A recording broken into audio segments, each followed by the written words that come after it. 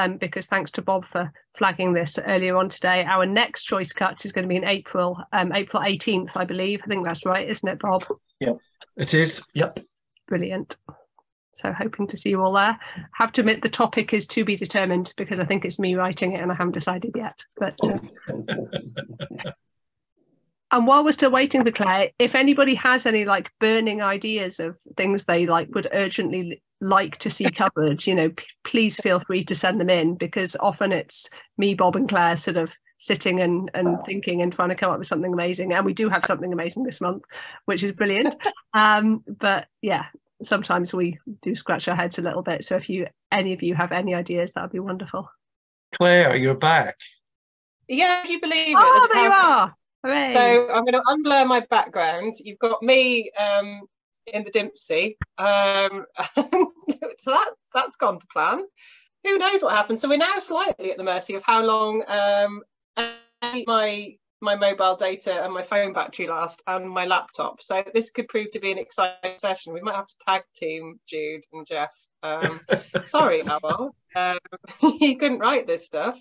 So um, so yes. Uh, if um, Jude's covered most of the house, welcome to everybody. Thank you for coming. Um, and uh, it, it's as a student, it's a really um, it's a really good opportunity to just ask any and all questions in relation to halal. Um, uh, there is there is no question too small, too simple, or otherwise. So without further ado, um, I'm going to spotlight Awal. And, um, he's also got a couple of slides to explain um, sort of some of the, uh, the perhaps the, the facts and figures, the best way to put it.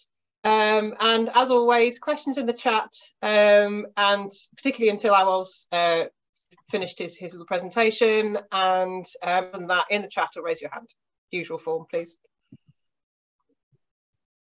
Uh, So, good evening, everyone, and thank you very much, Claire, for your kind introduction. Uh, so, uh, I think it's, it's an opportunity for us to just share ideas or discuss the issues we have around halal. So, I will be covering the economic and the eth- ethical issues. For I'll be opening up for for us to discuss as we go along. So, my name is Awal, as Claire said, and I work for AHDB. I'm sure we all know uh, AHDB.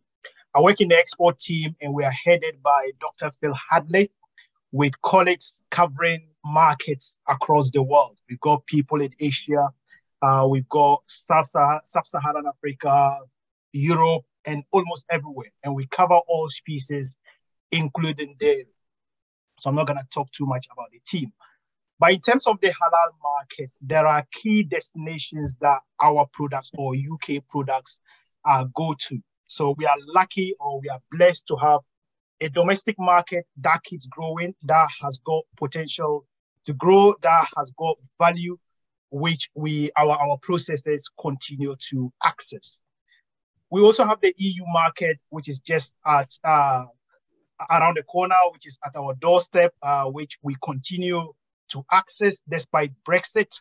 Uh, we've got the Middle East market, which is also a growing market, which is entirely halal. But we also know that the Middle Eastern countries are unable, due to climate, are unable to uh, to produce meat that meet their their their uh, their demand. So they produce around 10% and 90% of the products are imported. We've got the Americas, particularly in Canada, where we do ship some products to. There is Asia, we've got China. China, uh, you may not uh, see it as a halal destination, but it's, it's a, a huge halal market. Then we've got the count, countries such as Malaysia, Indonesia, Singapore. There are other markets which are put there as other because these markets are markets that may not be high value markets, but that are very, very significant in terms of balancing carcass. So for instance, the sub-Saharan African market, most of our our fifth quarter, so the heads, the the feet, the, the offal will end up in countries like Ghana and Cote d'Ivoire. Ghana and Cote d'Ivoire are huge markets for our fifth quarter. So now let's quickly look at the domestic market. The aim is to just try and summarize this so that we can discuss it. Uh, we will have uh, sufficient time to discuss it. So in terms of the domestic market, it is valued at 3.2 billion. And this is in a study I actually co-authored with colleagues from uh, Huddersfield University. And we, we, we, we estimated the value to be around 3.2 billion pounds. It's not published yet. It's going to be published very soon. When it's published, I'll share it with Claire so that Claire can then uh, share, it with, uh, share it with everyone. What accounts for the, the to, for the value is mainly around population growth. So the halal, uh, although the, the Muslim population forms around 6.5% of the general population, we know from studies that the, the Muslim consumer consumes above average uh, volume of meat or amount of meat when we compare the Muslim consumer to the to the general population. We also know that the Muslim uh, consume or the Muslim community have got a high fertility rate. So if you compare, if there are Muslims in this in this webinar, I'm sure there are. If you ask the Muslims versus the non-Muslims how many kids they have, it's very likely that the Muslims will average around two and the non-Muslims will average around one. So uh, yours truly has got four kids. So that is just an example. And if, if we're to, to sort of put it in perspective, that is what we're going to find. We know that from uh, other countries have got, uh, other countries such as those in the Middle East have got higher disposable income. So combining the fact that they consume a lot of meat, they've got a huge population, and also they've got higher disposable income, it can only mean one thing for businesses, which is good news. When we also talk about the high fertility rate, uh, if you look at the population of England or England and Wales from 2000 between 2011 to 2020 21, the population of the whole of, of England and Wales grew by 3.5 million. Compare that to the Muslim population. The Muslim population expanded by 1.16 million. That is 33% increase in population. That is a huge amount of increase. And it also just tells you that uh, Muslims are nocturnal. We get busy at night, so we continue to, to have more children. Then uh, we know that peak, peak consumption is around the religious festivals. Uh, uh, we, we've got a number of festivals. One of them is going to be next month uh, in March, which is Ramadan. Although during Ramadan, we, we do not eat from morning or from dawn till uh, sunset, we uh, when we break our fast or during our breakfast or during the, the morning meals, we consume a lot of meat. So you will realize that meat consumption will go up during the Ramadan season. There is also another one called Kurbani or Eid al-Adha. That is an important festival during which every capable Muslim is encouraged to pay for an animal to be slaughtered on their behalf. We estimated that last no last year, yes, uh, around 80,000 small ruminants were slaughtered during the Kurbani festival. But there is room for up to 300,000 animals. There are complexities. I'm not going to dwell too much on this. Maybe uh, during another meeting, we'll discuss it. I also said Muslims consume above average. AHDB did a study not long ago, that was in 2020, and we found that uh, Muslims consume, uh, 60% of Muslims indicated that they consume lamb at least once a week whilst the general population, only 6% of the general population consume lamb at least one uh, once a week. That is a huge or a massive uh, gap there. And if you look at the, the, the, the trend, uh, consumption of lamb within the general population is on the on a, on a downward trajectory, whilst that in the Muslim uh, community is on an upward trajectory. We also know that mutton almost 90% of mutton goes into the halal market. And you can test this by going to any of the supermarkets. You hardly find mutton in Tesco, Asda, Morrison's, or any of the big guys. But if you go to any independent halal supermarket, you will find uh, you will find mutton there. Or go to some of the uh, there are there are halal counters in some of the mainstream supermarkets. You will find mutton there, but you will never find it on a Tesco labeled or a, a, a Tesco own label or any of the uh, retailers own label. But You'll never find mutton there. This is uh, the last point is very important for those who are interested in welfare. Halal meat beef production remains very low in the UK due to slaughter methods And the reason for this is that, well, also the, the, uh, one thing to note there is that the majority of halal beef that is consumed in the UK is imported. It's imported from either Ireland or other other countries. And the reason for this is most of our beef, I believe, over 90% is done with what we call the penetrative captive bolt. That method is not accepted by the majority of Muslims. So not until we find a halal consistent or compatible method, the production of halal beef will remain very low. We know that New Zealand has got a system called the Jarvis beef stunner without a cardiac arrest cycle, which is accepted by the, are many Muslims, but we do, it is that there are other legal uh, restrictions around the use of that Jarvis beef stunner here. HSA, the Humane Slaughter Association, funded my PhD to look at developing a new system for halal beef. We managed to produce a prototype, but that prototype, there's still a lot of work to be done to the prototype to make it a commercial product. So I want you to focus on this picture on your screen. If you if you if you look at it critical, I'm just gonna uh, minimize the, the video. Yeah. So if you look at it critical, you see products there that you would normally not find in any of the supermarkets. But these products are, are, are found in halal retails. So you, you get cow feed there, you get the feet of small ruminant, you even get the head of small ruminant in there. You get a tripe. I, I doubt if anybody on this uh, webinar who is not a Muslim has eaten tripe in the next in the in the last 12 months. It's just not happening. Liver you may find in conventional supermarkets. So what this picture is telling us is that the halal market presents an opportunity for carcass balance. Without the halal market, some of these products would have ended up in the bin. So that is just telling us that there, there is a market there for some of these products for processors who want to maximize prof profit or who want to carcass or to balance their carcass, they can access the market.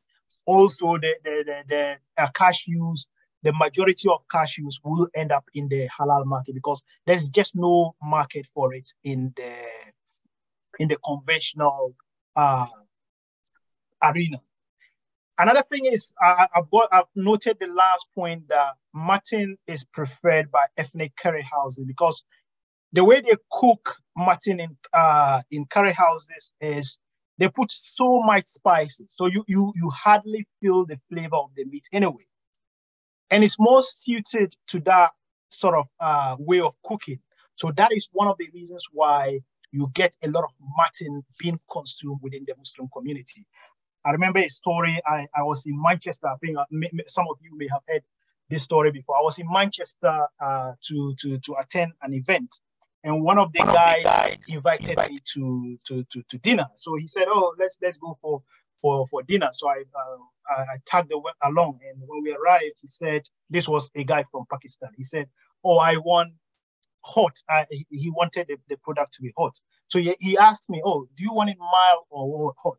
I also wanted to look a little bit tough. So I said, oh, I'll also go for for for for uh, for the strong one. So I took the strong one, and I can promise you that when I went back to my hotel, I couldn't really sleep well. And the next day, I, I wasn't able to walk properly. Uh, uh, it's fair to say my backside was on fire because uh, so if you're not familiar with these things, when you go with with your Asian friends and they ask you which one, just go for the mild. That's just a caution for you. So let's move on to this is important for those who are interested in welfare. Halal compatibility methods can be very tricky to understand. So let's take small ruminants first. The default method or the method that is accepted by all is the slaughter without stunning. I know there are welfare issues surrounding it, but that is the method that is accepted by all. And the reason for this is during halal meat production, there is a requirement for the animal to be, to be alive at the point of slaughter. We know during slaughter without stunning, there is 100% guarantee that the animal is, is alive.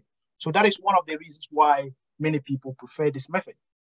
The other one is that head-only electrical stunning, which, uh, which is a method of stunning where you apply electric voltage to the head in order to disrupt brain function is generally accepted by all those who accept stunning, all the Muslims who accept stunning. It's important to also note that there are Muslims who will not accept stunning full stop. But there are uh, those who accept stunning, all of them will accept head only electrical stunning. And the reason for this is we know during head only electrical stunning, you only affect the brain, you don't affect the heart, and you don't actually cause any physical destruction to uh, physical destruction of the brain. All you do is you uh, you uh, you disrupt neural communication by distracting distracting uh, uh, new, uh, neurotransmitters in the brain. So you don't really cause any physical injury or you don't really stop the heart. So that is generally accepted. Let's go to mechanical, penetrative, and non-penetrative. In terms of small ruminant, it is not uh, the preferred method or head to body stunning where you stop the heart. That is also not acceptable. So you hardly find any reputable halal certifier accepting penetrative captive bolt or head to body stunning because these uh, products, uh, this, this method of stunning do not guarantee that the animal is alive. So the, the preferred ones are slaughter without stunning and head-only electrical stunning. Let's go to uh, poultry. Poultry, the, the commonest one for halal meat production is water bath stunning. And that is accepted by all those who accept stunning, all the Muslim authorities who accept stunning. However, there is a caveat here in terms of the what, what I've written in notes uh, in, in red. The Better Chicken Commitment has called for water bath stunning to be abolished by the year 2026. Now we need to be very cautious here. If you get rid of water bath stunning without an alternative for halal, it's very likely that people will move to uh, slaughter without stunning. So it's a balance there. We know our water bath stunning has got a lot of welfare issues from inversion and live shackling, freestyle shocks, receiving some birds, receiving insufficient uh, current, but it's, there's a saying that half a loaf is better than nine, none. So we need to ask ourselves, do we abolish uh, water bath stand in 2026 without an alternative, or do we wait, wait for an alternative for poultry, for halal poultry before we get rid of uh, water bath stand? There is studies going on in Royal Veterinary College led by uh, Troy Gibson and Jeff Lyons looking at an alternative for water bath stunning that does not involve inversion of the chicken, but is something that is work in pro progress. There is also controlled atmosphere stunning, which is not accepted because in the UK, the simple rule is that the, the birds must die in the chamber before they exit. So that is just not acceptable. You hardly find any reputable certifier or halal authority accepting that.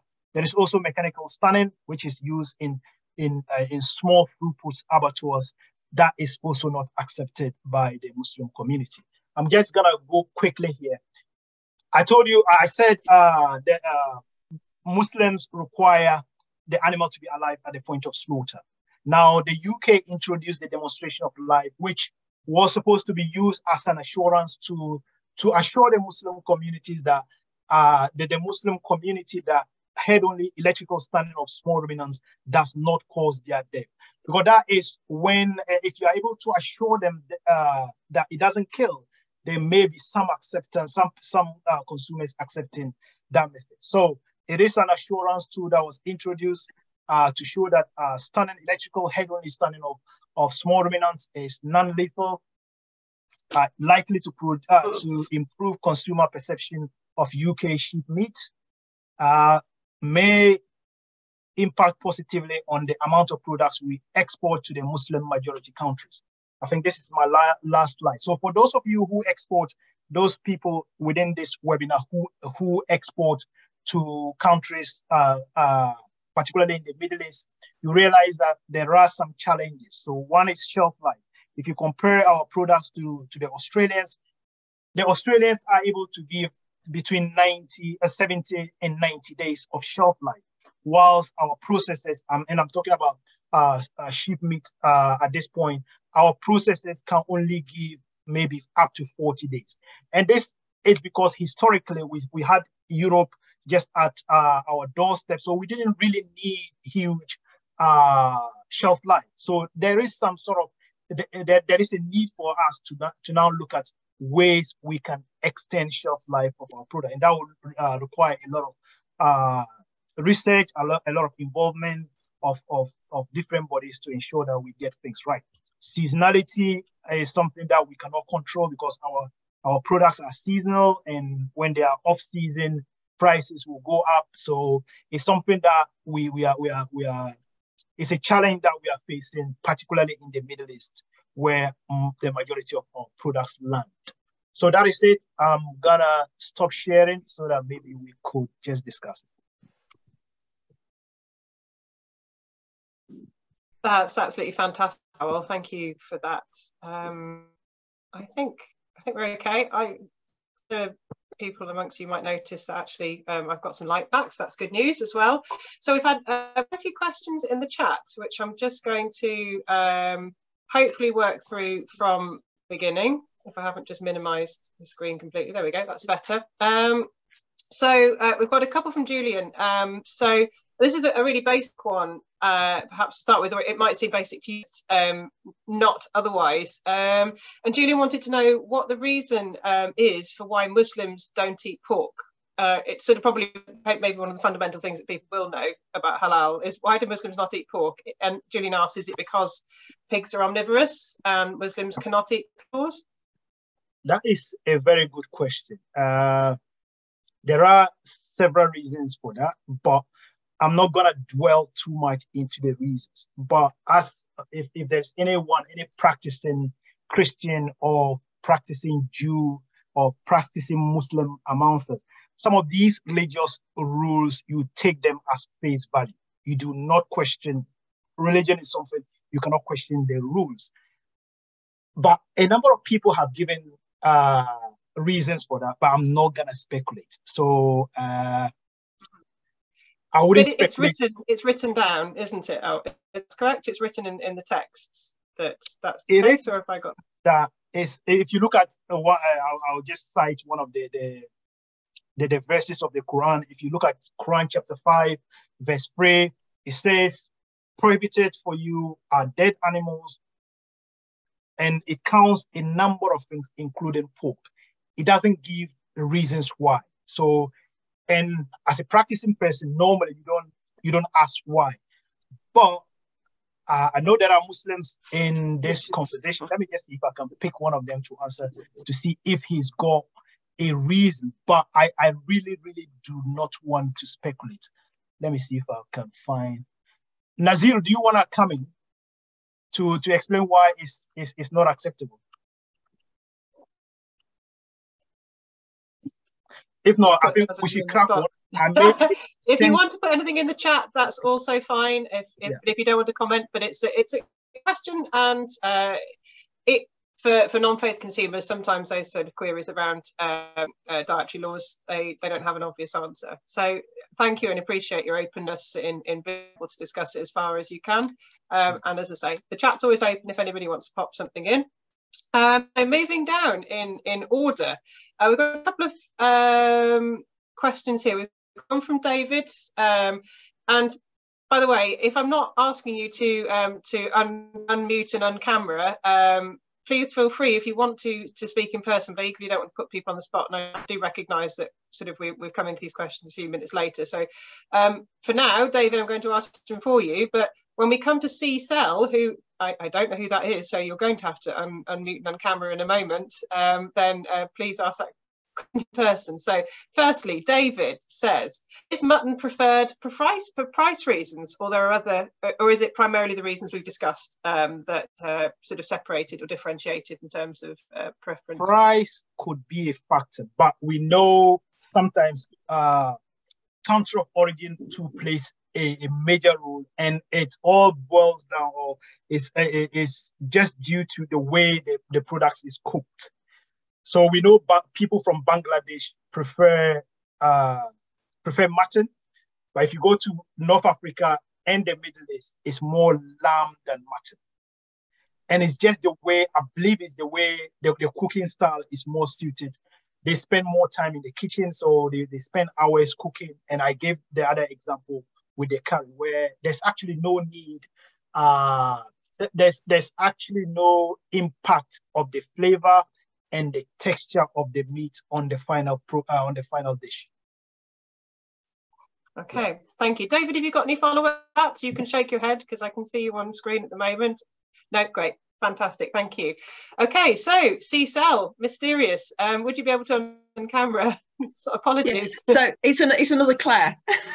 oh, that's all right.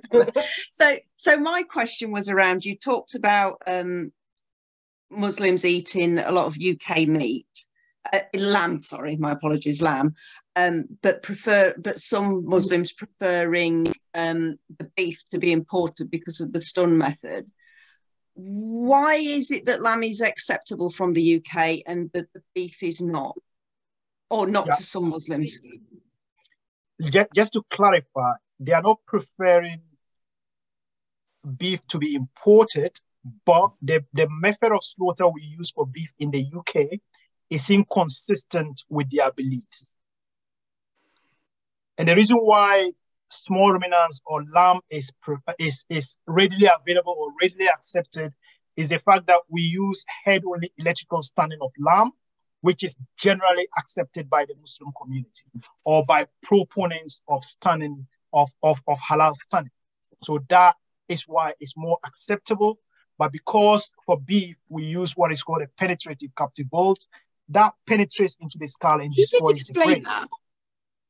Sorry? Okay. So yeah, so that, that is just due to the slaughter method. Did I just ask, could you explain that a bit further, please, Awal? So um, it, in, in summary, the differences around the, the, the stunning methods are available in the UK for cattle, which are generally not acceptable for yeah. um, for for for Muslims for halal uh, because they can't guarantee that the animals are alive at the point of slaughter versus the one that is in in predominant use in the UK for sheep, which happens to be um, a demonstrate that the animal is alive at the point of slaughter and generally is reversible, um, therefore is acceptable. Yeah. Is that the best way to describe it? And does that answer your question? Thank you. Thank you. Yes. Yeah. Thank you. Can I ask a question, Claire, please? Uh, yes. yes. Um, I can you just introduce Dave, yourself because I'm afraid I can't see who's on screen. It's it's Dave Clapham from uh, from. Okay, York. Dave. Thank you. Uh, it, it's in relation to a couple of questions. In actual fact, uh, first of all, in relation to cattle stunning, uh, when you you've talked about the penetrative bolt, but there is also a concussion stunner that's available and that is used by some plants. Now I know there is obviously destruction of the cranial area, but it doesn't penetrate. So that's one question. Yeah. My second question is uh, 10 years ago, I think it would be 10 or 11 years ago, I was in New Zealand and I was fortunate to go around a plant where they were using electrical stunning on cattle, yeah. uh, very similar to, to sheep or to pigs or whatever, but it seemed to be very effective. And to all intents and purposes, it fulfilled the requirements that Muslims require in that the, the heart is beating when effectively it's dispatched. And that was always the principle that I was under, on the understanding of. So two questions really: concussion stunner, and we already there already is an electrical method of stunning cattle available. Yeah. Yeah, those are very, very good questions, David. Uh, so the, the, first, let's look at the penetrative uh, captive or the, the, the concussion, uh, the percussive stunner, stunner you mentioned. It is illegal in the UK on ruminants that are over 10 kilograms. So that is the first obstruction. You cannot use it on ruminants, or you are not supposed to use it on ruminants over 10 kilograms. So we know cattle, even if it's a veal, is likely to be to be more than 10 kilograms. So that's the first of, uh, thing. But that method, as you said, is actually accepted by some reputable certifiers and also by countries in the GCC, in the Gulf countries. But we are we are constrained by the fact that it is illegal. You cannot widely use it on ruminants that are over 10 kilos. The other bit is the, the, the electrical stunning system in New Zealand. Claire and I, Claire White and I have been discussing this. It is accepted by majority of the countries in the in the in the Muslim world. However, again, It is illegal to be used in the UK because it uses post-stun electroimmobilization. And post-stun electroimmobilization has been established to be contrary to EC 1099, which is the EU legislation, and WATOC 2015 as well. Claire, do you want to add something? Um, well, yeah, that, that's the technical points around it. It, it Zealand because it fits within the New Zealand welfare and slaughter framework. Despite the fact that they're actually broadly similar, there's some very fine detail, which means that it can't be directly transferred over here. Um, and hence why I was looking at alternative methods that would fit within that existing framework. Bringing this bit around stunning to perhaps um, a bit of a, a, sort of a general conclusion, um, or at least sort of a bit of a capitulation. Um, it, would you well that at the moment there might be some missed opportunities for the UK market because um, we haven't quite got the, the stunning methods right for some of the major species like uh, beef and, and poultry, and that um, there, there's perhaps some opportunities there both for domestic and for, for export markets absolutely huge, huge opportunities are missed here. And I, I, I reiterated at the start that we currently import the majority of our beef from Ireland and other, other, places. We do have some non-stun slaughter of beef, but as you, you as everybody will, will know, uh, it's very complex in terms of welfare when you slaughter uh, cattle without stunning. And I, I, I know people in the Middle East are waiting to, to, to buy British beef there is a butcher, or there, there's a, a chain of uh, independent uh, retailers in, in Dubai called British Butcher. They are willing to buy beef tomorrow if we had a, a compatible, a halal compatible buffet of stunning. The trouble is uh, with, with penetrative captive bolt, you may get somebody accepting it domestically, but it's illegal to, to, to export it to the Middle East because their standards are very, very clear you cannot use penetrative captive. You may get somebody, there, there will always be people who are willing to, to break the rules, saying they will certify, but that is not acceptable. So if we were to find an alternative, I, I think uh, we'll get an uptick in uh, halal beef production. Brilliant. That's that's really good to know. Um, thank you for that. Apologies, um, I'm not seeing hands up. So if you think I've been ignoring you, well, I have, but it's not deliberate. So I'm going to come to uh, Tony first, and then Joanna to to pick up some of those hands that I've missed, and then we'll come back to the questions in the chat as well, please. So Tony, please um, camera and unmute, please. Thanks, Claire, and uh, evening all, and uh, especially to Al uh, Al and I have already had conversations about the opportunity for halal veal, and I have put a little bit in the uh, in in the chat about it because basically, because of our restrictions on uh, killing uh, over ten kilo kilos on the on, on, the calves, we are missing a, a market opportunity. And what's worse, we're actually importing halal veal into the UK. You can buy uh, Australian halal veal on Smithfield. You can buy Dutch halal veal on Smithfield, I, I understand as well. Uh, so we're missing an export opportunity to the Middle East, and, and we're also buying in imported halal veal. And and I had, I reached for my Quran. There you go. Not many people will say that. And I did find one of the five surahs which uh, mentions uh, forbidden to you is the flesh of swine. Yeah. Uh, there are four other ones uh, just to try and answer Julian's question. But it, it is quite clear in there, forbidden to you. Uh, for food are dead animals, cattle, beasts not slaughtered, blood, the flesh of swine, uh, and that on which Allah's name has not been mentioned while slaughtering. See you on Friday at the mosque, Tony. I, can't, I can't get in. They're all over the pavement, my local one. That's absolutely fantastic, Tony. Thanks for, for adding those points. Um, okay, so uh, Joanna, uh, I'm just going to do the same, please, if you can um, camera and unmute, please. Um, it's really great uh, to have this really vibrant discussion. Thank you. And then we'll come back to the, the questions in the chat because they're uh, they're stacking up, which is always a good sign. Hi, do you hear me? Yeah. yeah. I, I, think I'll keep the camera off because my internet is a little bit hazy easy. I have a very basic question because I used to be somewhat um, puzzled by how is um, halal meat produced in um, in the UK at all, while to the best of my pretty basic knowledge, um, slaughter, as in killing without stunning, is illegal in the UK and in the European Union. So I I used to wonder like how does it happen at all, and I would appreciate some input on that. But in addition to other things that you said, I to be honest with you, I have I, I take a bit of issue with your with your argument because what I hear you say is advocating methods that while I am not an expert, you know, RSPCA and um, and you know all sorts of experts that I have been you know learning from um, in animal welfare and ethics of how they are treated. There's a special word for it that I now don't remember. They all agree that this is uh, like to the very least, you know, wrong or like low on welfare or unethical or whatever word you use. And also the the thing that you mentioned about you know about extending the the shelf life it's again a compromise on quality. And the argument you make there is money to make there. And while i do understand the economics of it it still is something that doesn't really go down well to be honest. Okay thank you very much for your question. Which organization did you say you work for please? Excuse me?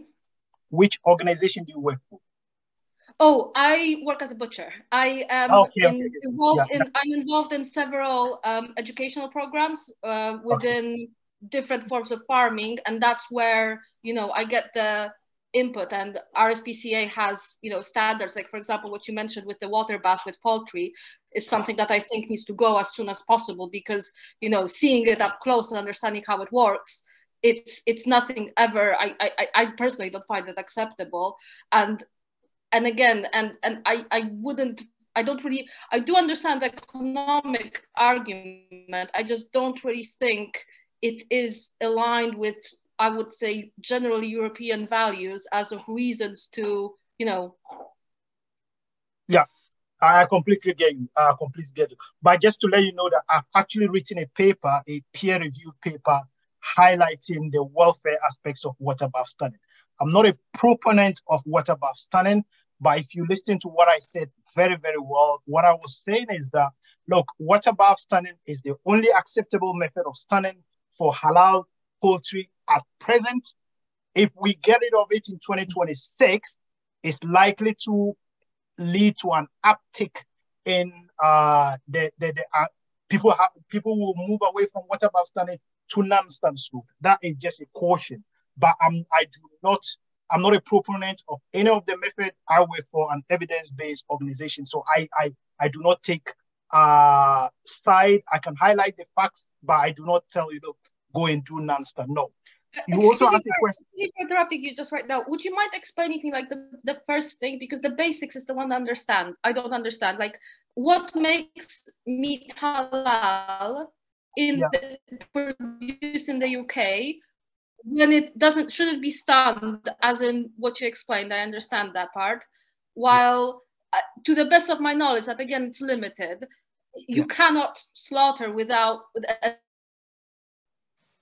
Okay, yeah, I get your question. I know your thing is breaking. I think you've got uh, a very, very bad. Uh, well, your, your the information you hold about UK animal welfare and EU animal welfare uh, regulation is inaccurate. So let me just spell it out to you. So EC 1099 is the EU legislation on the protection of animal uh, welfare of animals at the time of slaughter, and it's telling you. uh, Well, it, it says in the well, if you look at Article 44 of the of, of- that regulation, it says in the case of uh, slaughter without uh, sorry, in the case of religious slaughter, member states have a can apply a derogation that allows slaughter without stunning. It's not me saying it, it's the uh, legislation. And if you come to the domestic one, which is welfare of animals at the time of killing, which is WATOK 20, uh, 2015, it makes provision for animals to be slaughtered without stunning. If it's for uh, people of the Jewish faith or people of the Muslim faith. Uh, but what I'm saying is, I'm not advocating for any method. What I'm saying is that I- I'm, I'm giving you facts of what is going on. Okay. I, I believe I've answered your question. we might have lost Joanna. If not, um, Yeah. uh, Awal, I think, is more than happy to pick up some of these um, questions offline as well. Share, share some of my papers. I've, I've widely published Yeah. on the matter. I've, I've highlighted the, the, the, the, the welfare aspects of water bath study. I'm actually I'm, I'm actually just about to publish another paper on cattle, so I'll I'll be happy to share it with. Uh, That's fantastic. So the Awal um, has got definitely more knowledge than we can have in an hour or, or several months, I think. So, um, I'm really sort of mindful of the time and sort of how much more time we could spend on just even the subject of stunning. But there's some market stuff I think um, we want more as well in the uh, in the chat. So, but I know that Charlie's had his hand up for a while, and um, thinking that uh, Charlie, as Director of the Humane Slaughter Association, might have something to say on the matter of stunning. Charlie, could you just give us a couple of minutes of your time, please, and then we'll move on to some of the market questions as well, if that's okay. Yeah, okay, Claire. I was going back to when you were talking about import and that, and um, I I think I always said that import beef and veal from Australia and Holland and elsewhere, but and Ireland, but you don't import non-stun beef. So how do they stun the beef from those countries that we import if we can't if we can't use the non-penetrative captive bolt here on animals above 10 kilo? Yeah, thanks, Charlie. Yeah, thanks. So the the one in New Zealand, the one imported from New Zealand is with the Jarvis beef stunner. The Correct. one, yeah, from Ireland, I am aware is some non-stun and non-penetrative captive bolt. So although we know the non-penetrative is is illegal on on ruminants over 10 kilograms across the EU, but I am aware in in in Ireland it's being used it is Tony who mentioned the other countries. I'm not aware of products, or I'm, I'm not uh, sort of familiar with the method of stunning or slaughter from the other methods that Tony, uh, other countries that Tony mentioned. But I'm aware of the New Zealand, which is the Jarvis, and uh, Ireland, which is non uh, non-stun slaughter and non-penetrative captive. So, am I right in thinking that in 1099 there is a, an exemption from that limit of 10 kilos? I don't think it is it's black and white that there's an exemption for halal slaughter on ruminants over 10 kilogram with a non-penetrating. But I think uh, there have been people, uh, abattoirs got themselves into legal legal uh, litigations with with, with with with with the competent authority. So I do not think it's clear black and white that they can use it. But as I said, I'm, I'm aware of its use in in Ireland. Yeah, that's what I'd heard. I'm, Yeah. I'm assuming most of it, if all of it, would be from the Jarvis electrical stunner. No, no, there, there's some non-penetrative coming. Okay. So it's a really it's a really important area, Charlie. Thank you um, for drawing that out. Uh, And um, as, a bit of a plug, actually, I think it's an area that Awal and I are going to be working on um, to sort of establish sort of the the, the landscape essentially for stunning for beef as well.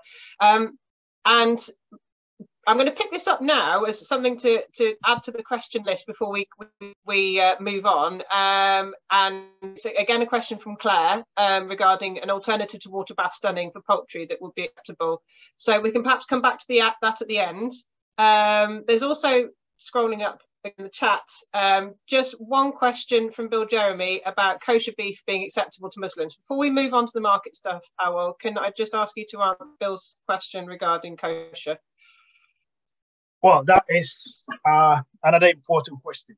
We, we, we, we did a study in 2017 where we interviewed uh, Islamic scholars within the UK. And we wanted to establish whether, first of all, whether they accepted stunning and whether they recognize kosher meat as halal. The information we had from most of them was that if there is no halal alternative at any given time, you could accept kosher. However, if you speak to majority of Muslims in the UK, they wouldn't want to consume kosher as as halal when there is abundance of halal. Having said that, there are halal certifiers in the UK who would readily certify kosher meat as halal. So they will uh, readily stamp it with halal stamp. But if consumers know that this is kosher, many people will avoid it.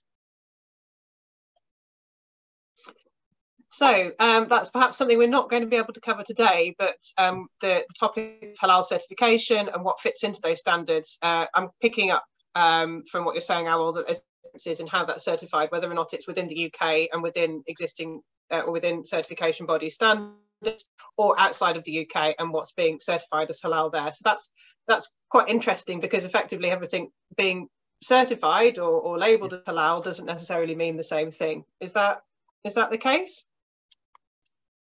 Yes, yes, I'll say yeah. Okay, so so the question that sort of the perhaps the the, the footnote to that then is that um, there's lots to discuss around halal certification. Okay, yeah. um, so T, um, quite some time ago, and thank you for your patience, Katie, has asked a couple of questions around uh, consumer trends um, and opportunities for offering halal options in restaurant sectors. Katie, if you're available, do you mind um, un, un, uh, cameraing and unmuting, please, um, to ask those questions? No problem. Thanks, Claire. Um, hi, Awal. Um, are there trends towards vegetarianism within um, the Muslim community? And how do you see opportunities for offering halal options in the UK restaurant sector? Thanks. Well, uh, I think I've come across a study which was published in 2019 where it showed an increase or a rise in uh, in, in in the number of vegetarian uh, Muslim vegetarians. However, uh, I've also come across scholars who said uh, vegetarianism is not a thing in Islam because what we what, what Muslims normally do is that we tend to do what the Prophet peace be upon him did uh, during his time, and we know he he consumed meat, although he consumed meat on a very very small scale. He the Prophet did not consume meat as we do today. So the, the level of vegetarianism is go, growing is growing for, for different reasons, uh, for ethical, for, for, for health, and other other reasons. However, in terms of restaurants, yeah, there is opportunity for restaurants, uh, for for halal restaurants.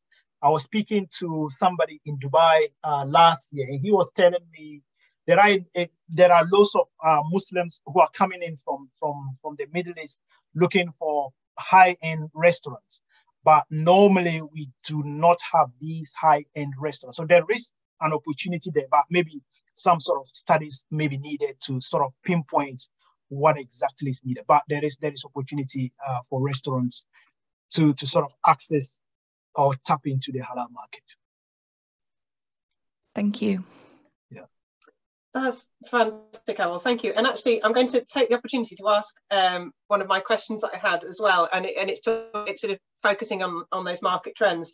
Um, you've, you've got this unpublished work at the moment around the value of the, the halal sector to the UK.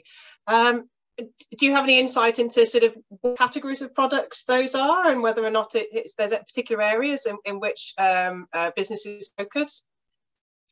Yeah, so in terms, if, you, if we look at the the, the order, uh, the, uh, the, the preference in terms of uh, the the species, poultry is the most popular, followed by by lamb or sheep meat, and then beef is the least popular. And the, the reason for this is uh, for the beef being low, uh, ranked low is the slaughter method again.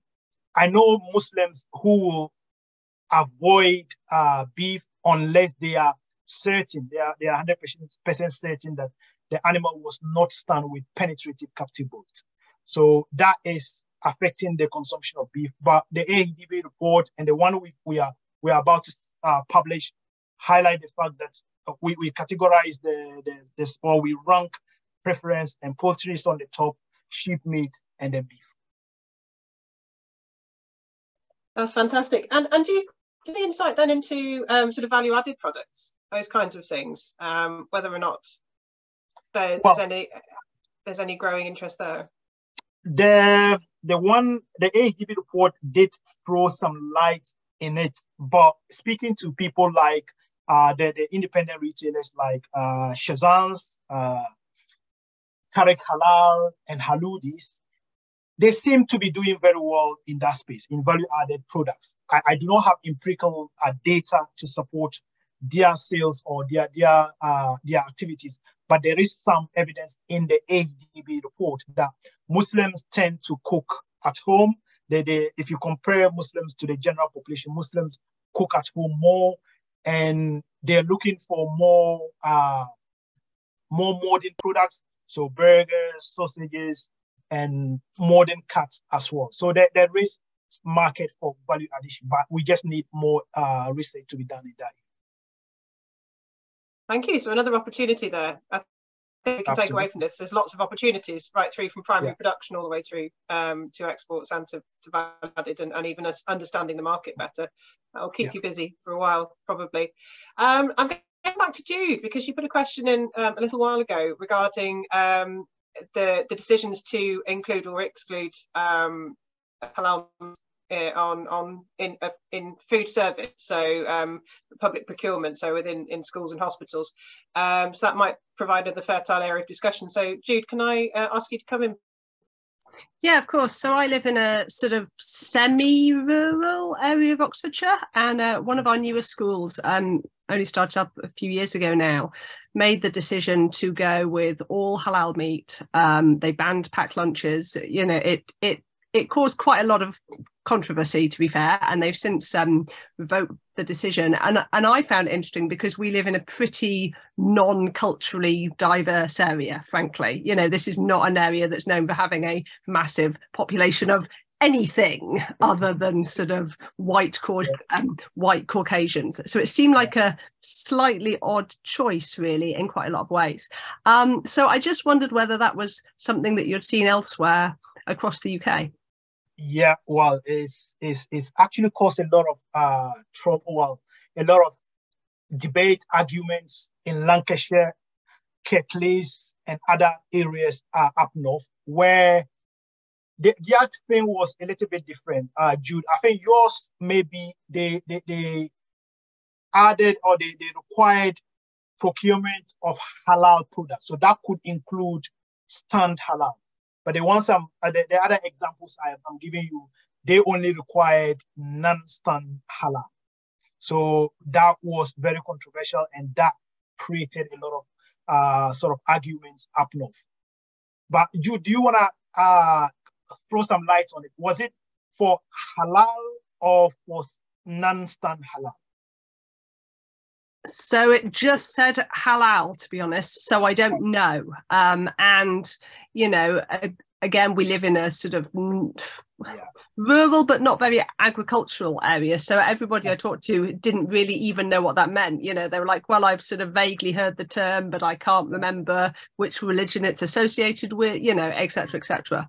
Um, but it did seem like a strange, a strange choice, just given the population around here. So um, I just wondered whether it was happening, you know, all over the country, and I'd missed it. Yeah, it is happening in some countries. Uh, sorry, uh, sorry, in some counties, and the some are actually demanding or requiring the, the procurement of only non-stun. So it, it is quite. It, I think it probably is.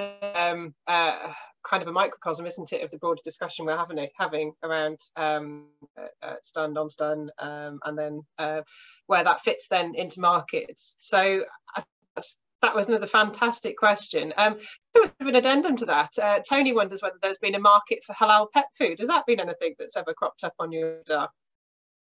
Yes, I've had uh, a number of conversations around that. Somebody contacted me recently in LinkedIn and uh, we actually going to Dubai on Saturday for Gulfood. Uh, during Gulfood you, you get a lot of stalls just uh, advertising halal pet food. Uh, so it's, it's a thing. Uh, particularly, they want assurance from processors that the product is not containing pork. That's the first thing.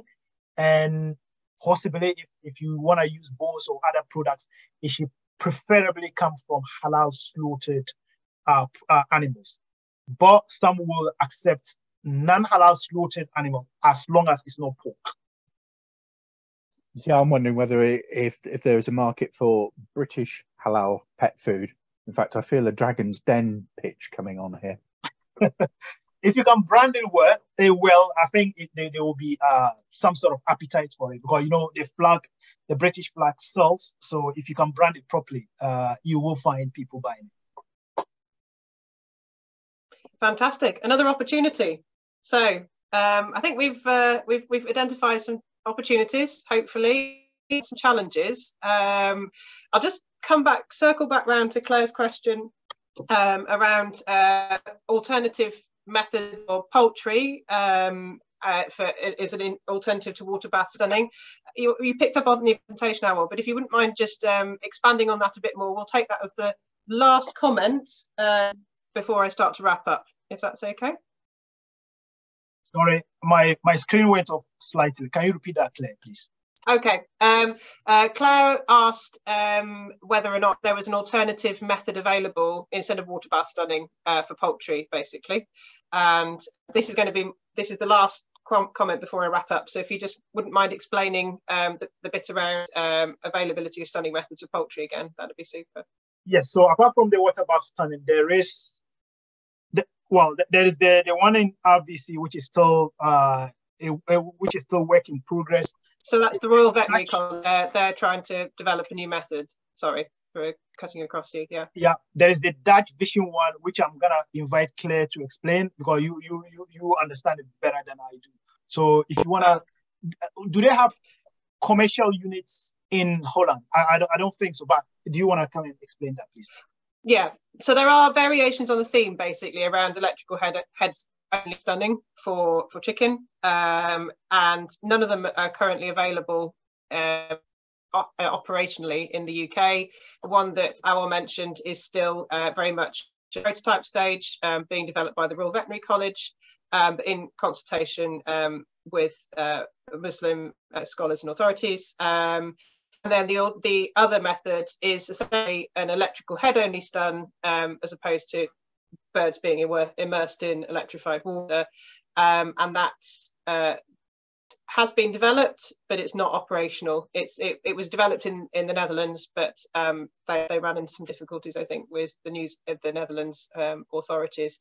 So um, there are a couple of methods. The other thing to point out, the, the, the one that is available on the shelf, um, but not working here in the UK, the Dutch Vision system, is that it's not supported by the Better Chicken Commitment, which is was um, brought into being by Compassion in World Farming because the birds, um, all supported, are still inverted during the process. So um, it, it's an option, but it's not one that's going to meet the commitments of the BCC to uh, to, to phase out water bath stunning.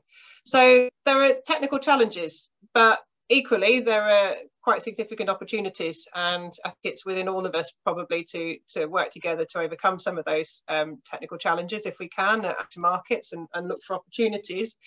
Uh, just as a, a, final word from you, Awal, uh, we're looking to the future now for, for halal. Um, if you look back maybe 10 years or 15 years, can you sort of describe the sort of the, the, the sort of where where the, the, the sector has, has gone come from within the context of UK meat processing and where we're heading to, hopefully?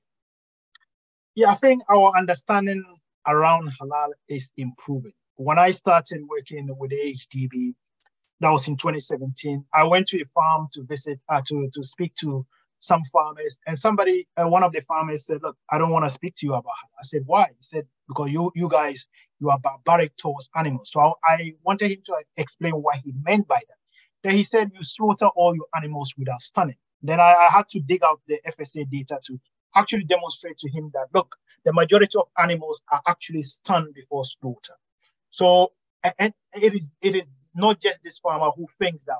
There are so many people who maybe a few years ago would have thought the same thing. But I, I believe the activities of AHDB has now reached out to more farmers, to more abattoir operators, and even to consumers to create awareness about what is going on around halal.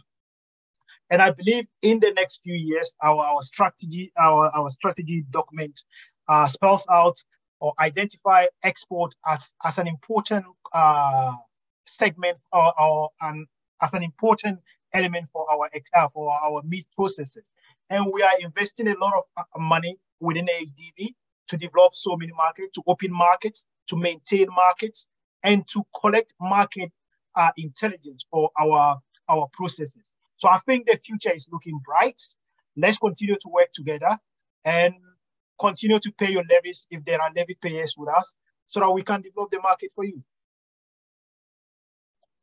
There we go. We get that pitch in right there at the end. So uh, thanks, Awal. It's been um, too short a session as it usually is with you. Um, I'm I'm not sure whether the master joined us um, in the end. I haven't checked the participant list recently. No. Um, no, okay. Um, I, in which case, I'm going to defer to immediate past master, um, Margaret, um, if that's possible, to just um, make some closing remarks and then we'll go for the evening. If that's okay, Margaret, sorry for putting you on the spot. That's all right, Claire.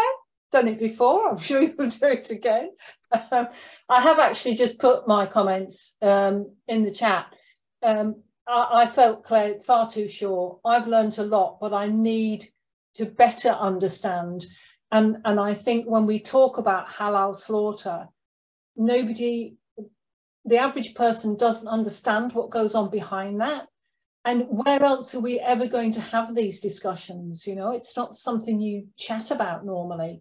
So, uh, you know, whilst um, you're always looking for really interesting subjects, I personally think give it a few months and you could come back to this one and update us because it, it's it's fascinating. Um, and I've got lots of questions which I will um, either ping across to you, Claire, or you, Awal. But really, so, thank you so much. I found it really, really interesting. And I think you've got something like 36 people on, on the call. So that's a really good number. It was a subject that obviously um, people are interested in. So thank you very much. Thank you, thank you for those words, Margaret. And it is great. I think it's a record actually for the number of people in person. So well, that's a that's one for you for for choice cuts. So it is a really complex subject, uh, Margaret, and and I think opportunity to continue this conversation. Um, if you haven't got Awal's details from the um, the the final slide, um, well, if you're happy to share them either in the chat or or separately, then we're more than happy to, to continue this conversation. Um, thank you as well for the slides and for, for the one pager. And um, yes, if there's an interest, we will come back and update um, perhaps on, on particularly on stunning methods.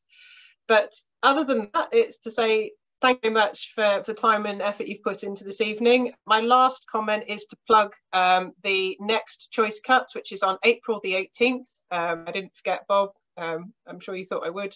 Uh, so we've got the next one. I don't think we've decided the subject yet, um, and apologies if we have. So, uh, but it will be published uh, published in the next few weeks, and uh, it'll probably be another external speaker. So it's fantastic. Thank you so much, Awal. Um, any further comments, or are we happy to let everyone go?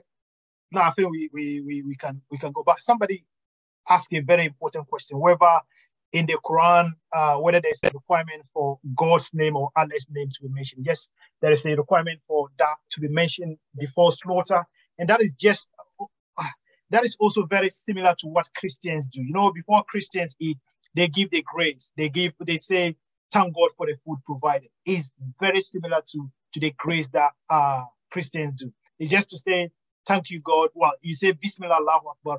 In the name of God, God is great to, to signify the fact that you're about to take the life of an animal, which is very important. Thanks, Awal. That's good. There's always more that that uh, joins us and divides us. So um, generally a good way to look at life. Yeah. Fantastic. Thank you so much once again. And uh, let's continue this conversation. Um, yeah, uh, via email preferably. Until next time. Thank you very much. Have a good evening all. Okay, bye-bye. Bye.